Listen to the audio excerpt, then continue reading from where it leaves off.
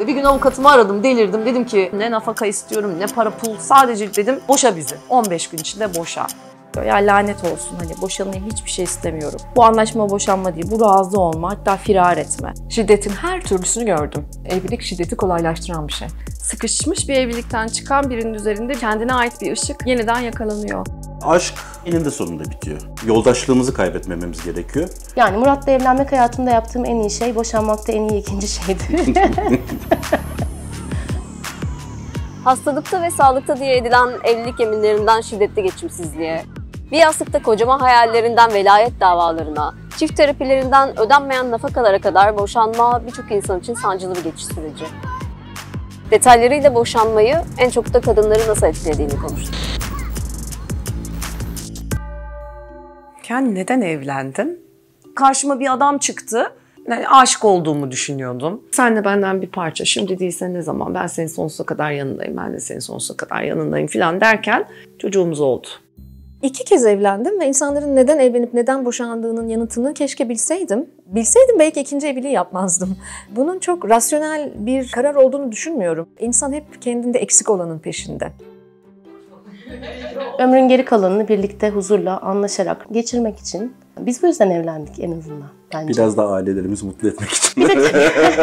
bir bahane oldu aslında. Bir çok uzun süredir görmediğimiz insanları bir araya getirmiş olduk. Öyle eğlenceli bir şey oldu yani bizim için. Evlenmeden önce de 8 sene yine aynı evdeydik. Aslında birkaç kez nüfus ve pasaport değiştirmek dışında bir değişikliği olmadı. Türkiye İstatistik Kurumu 2022 verilerine göre Türkiye'de evlilik yaşı yükselirken evlenme oranları ise düşme eğilimi gösteriyor yıllar içinde. Buna rağmen Türkiye hala Arnavutluk ve Macaristan'ın ardından Avrupa'da evliliğin en popüler olduğu ilk üç ülke arasında. Aşkla verilen kararlardandı. Her şeyin en zirvede olduğu kafayla bir karar vermenin doğru olmadığını görüyorum. Ama boşanma pek öyle değil. Çok şey denendikten sonra gelinen bir yer oldu benim için. Bence yanlış bir evliliğe karar verdiğinde bunu baştan biliyorsun. Yani birlikte sosyal ortamlara yeteri kadar girememek, birbiriyle iletişim kuramamak, duygularını konuşamamak, seksin azalması, bunu bütün bunlarla doğru orantılı olarak gibi gibi. Daha Alaz işte bir yaşına gelmemişti, 8 aylık falandı. Bir sabah evden ayrıldım. Birinci evliliğimin en büyük farkı makul, saygılı, sakince ayrılmış olmamız. İkinci evliliğimde çocuklu bir boşanmaydı. 17 yıllık bir beraberlik ve 15 yıllık bir evlilikti. Ben zannederdim ki çocuk olduğu zaman boşandığınızda akraba kalırsınız ömrünüzün sonuna dek. Meğer her zaman öyle olmayabiliyormuş. Benim çocuklarım çok minikken yaşadığım bir şey. Biri bir buçuk yaşındaydı, diğeri altı aylıktı ve bir aile desteği hiçbir zaman almadım.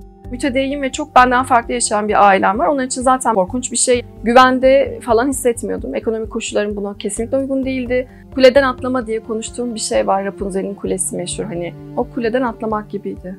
İnsan orada o evin içindeyse illa oradadır diye bir şey yok. Gerçekten kendini alıp gitmiştir ama bir şey yürütmeye mecburdur ve yürütüyordur.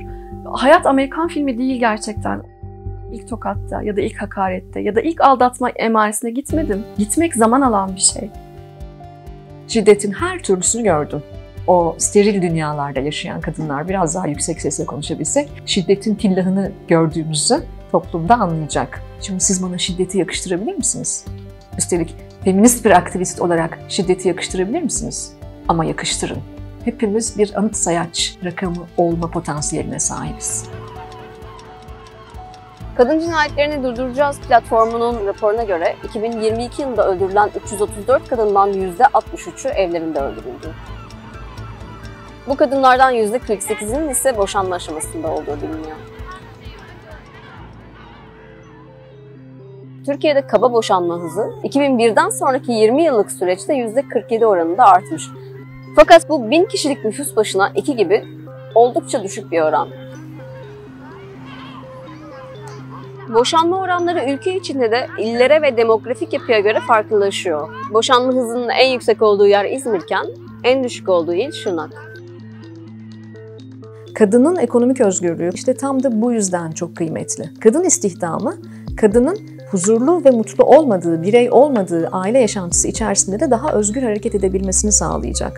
Bir de bu kadınların aileleri boyutu var. Yani ülkemizde hala bu evden gelinliğinle çıktın, kefeninle girersin diyen milyonlarca aile bulabilirsiniz.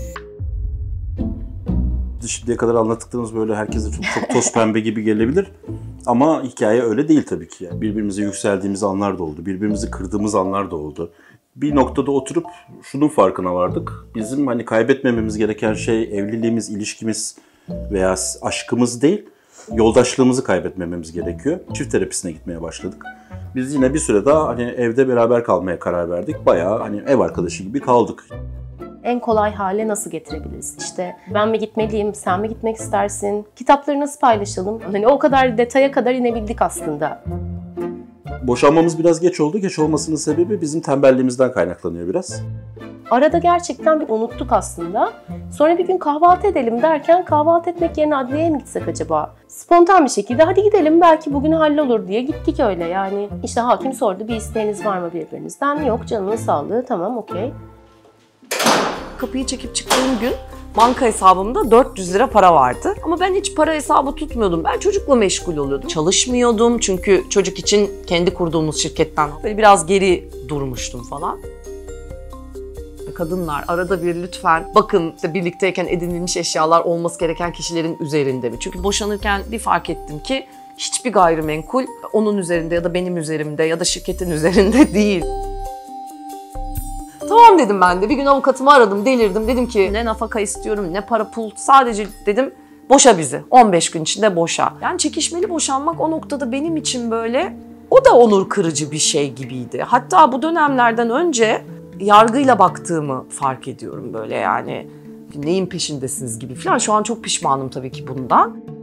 Çekişmeli dava yıllar sürüyor. Çünkü işte dilekçelerin teatisi de çocuklar varsa pedagog raporları bir ihtimalle 3-4 seneyi alıyor ki bunun istinaf temiz aşaması da oluyor. Uzun bir süreç. Dolayısıyla ideal olanı eğer anlaşabiliyorsanız tarafların karşılıklı bazı tavizler vererek anlaşarak boşanması ama bu da şu demek değil. Kadınlar şu noktaya geliyor. Ya lanet olsun hani boşanayım hiçbir şey istemiyorum. Bu anlaşma boşanma değil. Bu razı olma hatta firar etme. Şimdi şehir değiştirdik çocuklarla beraber. Böyle bir kaos daha tam yerleşmedi ev. Benimkinde nafaka problemleri çok yaşandı. İşte 10 yılın sonunda nihayet geçen ay bir 400 e, lira yattı hesabımıza çocuklarla. Ciddi bir hukuki mücadelenin sonunda. Tuzu kuru insanların böyle ya bu birikir zaten alırsın demesi mesela inanılmaz sinir bozucu. Çünkü bu bir yatırım tavsiyesi değil ve bir avukatın beni temsil etmesi için belli bir ekonomik olgunluğa ulaşmam gerek. Ya dava aç alırsın kadar kolay değil. Çünkü insanlar bütün hesapları blokeyken, e, haklarında bir hapis kararı varken falan yani kimileri 400 lira ödemeye razı oluyor. Nafaka konusunda çok büyük bir dezenformasyon var. Bizi ilgilendiren iki temel nafaka biçim var. Aslında yoksulluk ve iştirak nafakası. İştirak nafakası velayeti alan tarafın karşı taraftan çocuğun bakım giderleri için karşı tarafın mali gücüne göre belirlenen bir nafaka miktarı. Çocuğun üstün yararı kamu düzeninden olduğu için hiçbir şart aranmıyor. Asıl patırtının koptuğu yoksulluk nafakası. Boşanma ile yoksulluğa düşecek olan taraf karşı taraftan mali gücü oranında yoksulluk nafakası talep edebilir. Süresiz nafaka deniyor. Süresiz nafaka ömür boyu her şekilde her koşulda ödenen nafaka türü diye bir nafaka türü yok. İkinci mevzuda nafakanın sadece kadınların talep edebildiği ve kadınların alabildiği bir şeymiş gibi lanse edilmesi. Biz uygulamada erkeklerin de nafaka alabildiğini görüyoruz. Tabii ki ağırlıkta kadınlar alıyor. Bunun nedenini konuşmak lazım. Genelde hikayeler şu şekilde. Beni aldattı ama ben hala nafaka ödüyorum. Böyle bir şey yok. Kanun diyor ki ağır kusurluysa nafaka talep edemez. Çalışmaya başladıysa, sigortalı bir işe girdiyse, yeniden evlendiyse yine nafaka kaldırılıyor. Portreler, hikayeler kurgudan ibaret ve gerçekten propaganda aracı oldu. Mahkeme kararıyla verilen nafaka ortalaması 300-400 lira. Bugün hükmedilen nafakaların yaklaşık %66'sı da ödenmiyor. Ünlülerin kendi boşanmalarındaki tespit ettikleri rakamlar üzerinden öyle büyük nafaka miktarları falan konuşulmuyor yani. Yani biz şu an ortalaması 400 lira olan ve tahsil kabiliyeti olmayan meblalar yüzünden kopartılan fırtınalarla kadınların boşanma iradesini baltalamaya çalışıyoruz. Bir gün ve uzun bir süre hiç konuşmamıştık. Akşam aradı. Dedi ki ben sana velayet davası açtım. Haberin yok mu? Görmedin mi? Bu adamların böyle sırf kadınları yıpratmak üzere çekirdek çitler gibi açtıkları davalar. Evet vatandaş yaptan dava açabiliyorsun. Acun Ilıcalı da Şeyma Subaşı'dan velayeti alınca kendisini de alabileceğini düşündü galiba. Ve birdenbire benim anneliğim yargılanmaya başladı. Erkeklerin hukuken tehdit ettikleri alan bence velayet tehdidi. Ama bu da biraz içi boş bir tehdit. Yani velayeti kadından almak çok kolay bir şey değil. Hiçbir şey bulamazlarsa çocuğu kaçırmakla tehdit edebiliyorlar. Dolayısıyla bu boşanma kararını vermekte kadının zorlandığı alanlardan biri de bu. Yani bazı erkekler babalıktan da boşanıyor maalesef. Bizim durumumuzda biraz öyle oldu. Uzun yıllardır yok hayatlarında. İşte hastaneler, okullar, ev vesaire her şey benimle oluyor. Bir noktada ben de çocuklarıma kendi soyadımı vermeye uygun gördüm. Bir dava sürecimiz oldu hukuken. Böyle bir kazanımım oldu. Çocuklarıma kendi soyadımı verdim. Boşanma genellikle mutluluk getiriyor maalesef. Zaman aldı ama o evden çıktıktan sonraki her gün böyle mutlulukla hani duvarları öpme hissiyle, mutlulukla ve huzurla durduğum anları hatırlıyorum. Ama ben bir aile apartmanında oturuyorum nihayetinde ve başımda bir erkek olmadan oturuyorum. Hareketlerime biraz dikkat etmeliyim şeyi arkada böyle çalışıyor işte. Bekara ev vermemek var aslında kimi ilgilendirir. Romantik ilişkilerde elbette etkili çünkü bir bagajınız var ve bir erkek sizi isterken paketin tamamını istemeyebiliyor ve benim hayatım kolay değil işte iki kedi iki oğlan çocuk.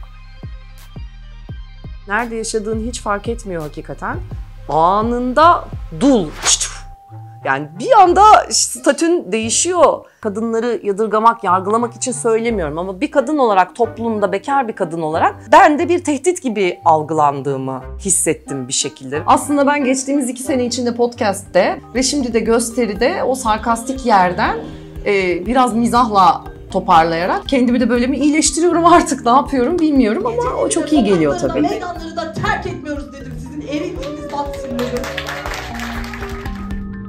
De ayrı bir hayatı var. Görüştüğümüz insanlar var ilişki anlamında.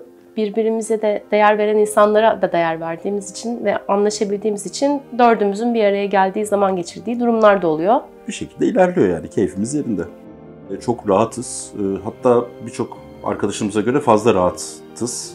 Benim bu anlamda çok şaşırtan insan oldu. Bünyeniz bunu nasıl kaldırıyor gibi e, hiç anlayamadığım ve anlam veremediğim cümleler de kurulduğu oldu. Benim inandığım doğru bu. Ama bana bunu söyleyen insanlar için üzülüyorum ve çok şaşırıyorum. Özellikle hem cinslerim için söyleyebileceğim şey bir dönüp aynada herkes kendine bakmalı. Bu ilişki nasıl bu hale geldi? Ben burada nasıl bir tavır alabilirim? Ve karşı tarafı kırmadan bunu nasıl yapabilirim? Çok açık olmak gerekiyor. devam edemeyecek kadar kötü, bitirilemeyecek kadar iyi. Bu bir tuzak ve buna vasatlık tuzağı diyorum. Bu yaşımda ve bu deneyimimde şunu fark ettim. Aslında zaten hiç evlenememiş olanlar boşanamıyor. Çünkü evlenmek sadece bir imza değil, en temelde arkadaş olmakla ilgili. Hala mutsuz olmak e, ayrıcalıklı bir kesimin boşanma sebebi. Bütün bu İstanbul Sözleşmesi'nin kaldırılması, 6284'e yönelik oklar, süresiz nafakanın kaldırılması gibi gündemler, bütün bunlar kadının ben zaten asla boşanamam gibi bir kabule yanaşmasına sebep oluyor. Her kadını o çukurdan çıkartmak için eminim hepimizin yapabileceğimiz bir şeyler vardır.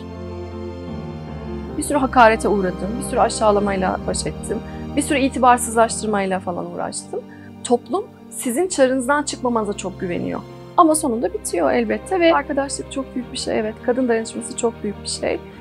Kendi küçük bağlarımızı yaratmak mümkün. Kendime vakit ayırdığım için işte yogamı yapıyorum, nefesimi yapıyorum, kitabımı okuyorum, tatilimi yapıyorum.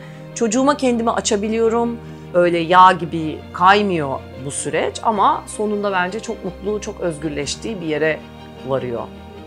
Mesela Alaz'la beraber geliyoruz, bunları beraber ektik. Yani ben 8 senedir bir şekilde kendime bir hayat inşa ettim ve bunun da mahsulünü topluyorum.